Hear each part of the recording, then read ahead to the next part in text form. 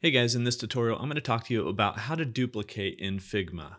Now, there's a duplicate shortcut key, and that shortcut key is Option or Alt and clicking and dragging. So if we have a frame out here and we select it and we hold Option or Alt, you'll see your cursor change to a double arrow.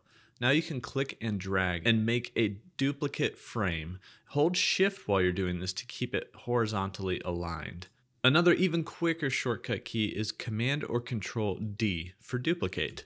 And once you hit that, it's going to duplicate out your selection again. So this works with anything, whether you're creating rectangles and you just want to hold Option or Alt and duplicate, or you want to press Command D a few times and duplicate that selection out. You can duplicate multiple objects. So if I have multiples of these selected and I hold Option or Alt, I can click and drag and duplicate that over.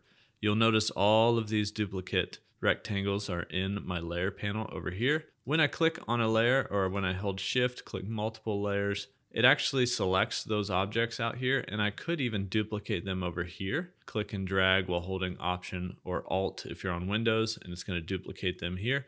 Now it duplicated them right on top so you can see those rectangles were on top of the others since I didn't move them at the same time as I duplicated them. Now speaking of copying and pasting in place. If I had a piece of text out here, we're gonna make sure it's scaled up a little bit. There we go. If I actually press Command or Control C to copy, now I can paste this text somewhere. If I have a different frame selected, I can actually just paste Command or Control V, and it's gonna paste that text into the same place in this other frame. Or back over here, I can do Shift Command V or Shift Control V. All of these types of copy and paste settings are in your drop down menu under Edit.